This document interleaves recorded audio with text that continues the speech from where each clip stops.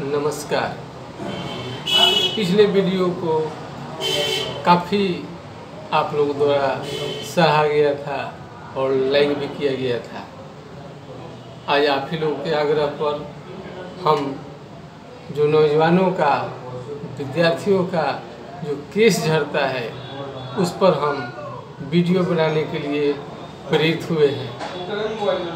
आज आपको हम केस झड़ने रुकने के लिए होम्योपैथिक में कौन कौन सा दवा हो सकता है और किस किस दवा के सेवन से आपका बीमारी ख़त्म होगा? और खाना में क्या क्या हम लेंगे ताकि मेरा केस झरे नहीं और घना सा, बड़ा सा दिखे ताकि हम लोग स्मार्ट दिख सके? केस झड़ना आम बात हो गई है केस झरना लड़के का, लड़कियों का, किसी की उम्र के भी व्यक्ति को हो सकता है। केस झरना, की समस्या हमें टीवी चैनल पर अनेक तरह का भी दिखाया जाता है। आप तरह तरह के दवा ले रहे हैं, तरह तरह के कॉस्मेटिक यूज़ कर रहे हैं। कोई अंडा लगाता है, कोई दही लगाता है, न जाने क्या क्या लगाता है। उसके बाद भी केस झड़ना आपका ठीक नहीं हो रहा है। तमाम तरह के चिकित्सा लेने के बाद आपका केस झड़ना नहीं रुक रहा है और किसी भी तरह के आपके प्रयोग किए गए दवाओं का अगर असर नहीं हो रहा है तो आप चिंता मत कीजिए।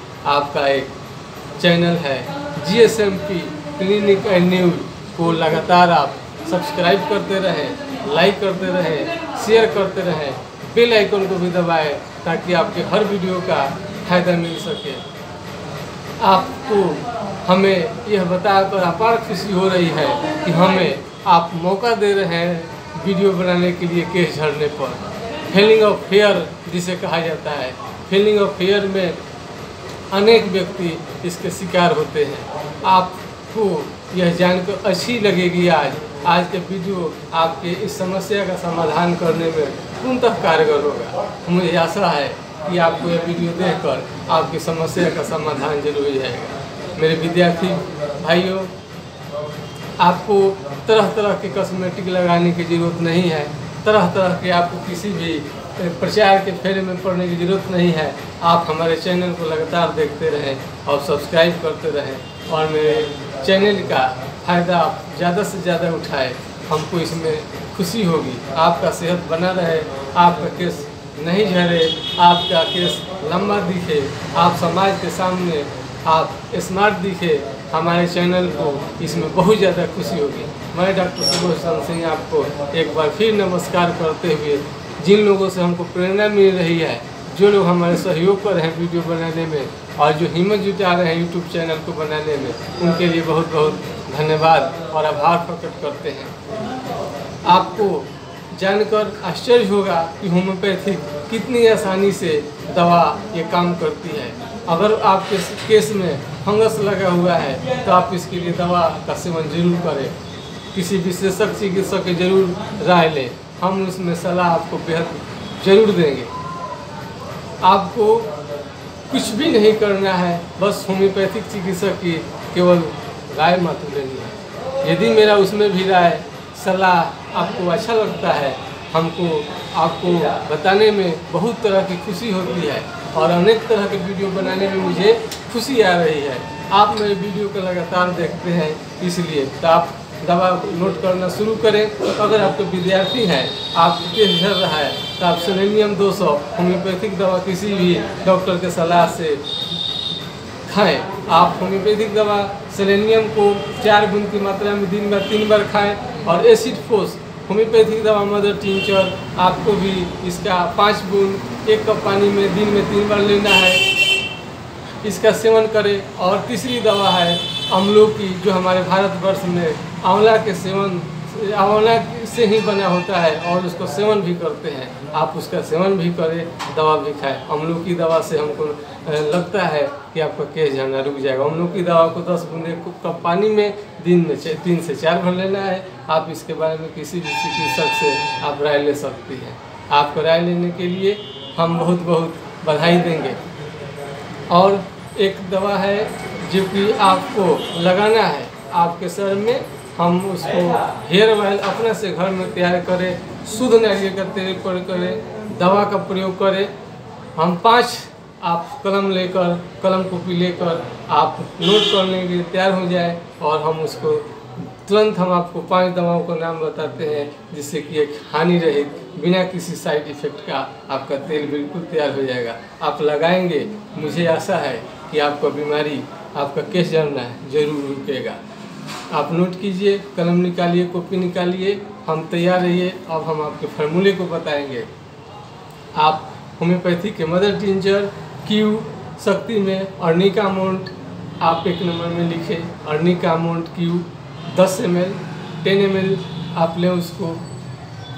दूसरी दवा एसिड फोस एसिड फोस भी दस एम एल की मात्रा ये भी आप लें। तीसरी दवा है चाइना चाइना क्यू इसको भी दस एम एल लें। चौथी दवा स्यूनथोस है, आप इसको दस एम एल लें। पाँचवीं दवा भी एक जेबेरेंडी आप जेबेरेंडी दवा को लें, आपको जेबेरेंडी दवा, पांचवी दवा होगी पाँचों दवाओं को एक साथ मिक्स करें। ये आपका हो गया पचास एम एल पचास एम एल दवा को डालना है डेढ़ सौ एम एल नारियल के तेल में। डेढ़ सौ एम एल नारियल के तेल में मिलाएँ और उसको पूरा तरह से सेक करें। खूब अच्छा से हिला लेने के बाद मिक्स हो जाने के बाद बस आपका एक हानि रहित, बहुत अच्छा सा, जल्दी काम करने वाला, बेहद असर करने वाला, तुरंत आपका नारियल के तेल में इसको मिलाएँ और आपका तैयार हो गया। ये आप उसको नहाने के बाद, शैम्पू लगाने के बाद शैम्पू के बारे में भी आप किसी होम्योपैथिक स्टोर में जाएँगे, किसी डॉक्टर से सलाह लेंगे तो निका मोन्ट शैम्पू आपको बहुत सारे कंपनियों का मिल जाएगा।